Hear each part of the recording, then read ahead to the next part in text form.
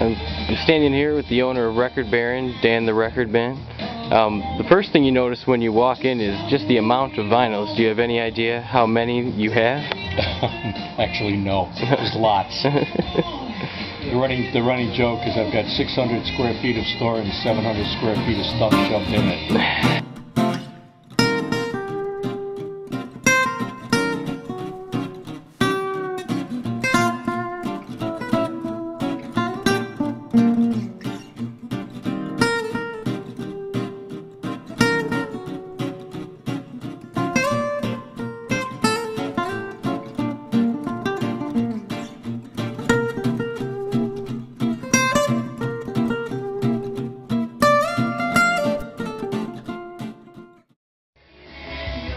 So why do you continue to use vinyl records as opposed to any other form of audio media?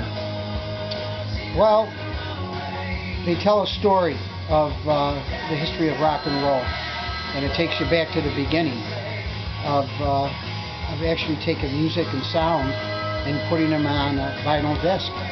And I always ask uh, everybody this question: How many grooves in an album? I don't know. There's only one: the beginning and the end. It was the way music was supposed to have been made.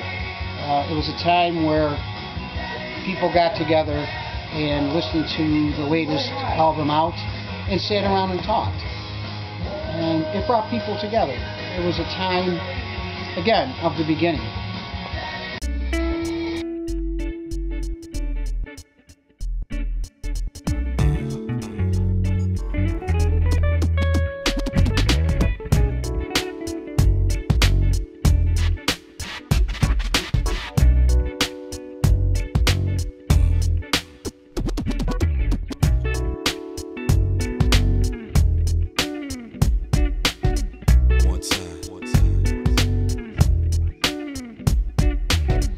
How long have you been collecting vinyl for?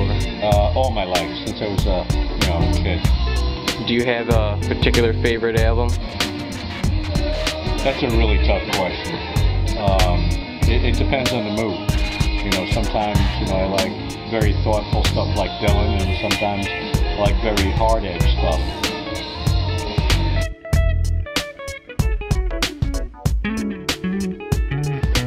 Okay.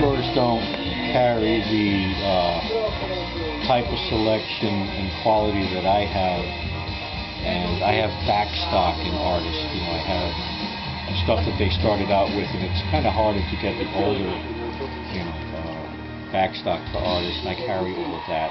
I carry it in punk, 60s, new wave, cutting edge, you know, heavy, heavy metal, you know, and um, you know, there's, there's a good selection here.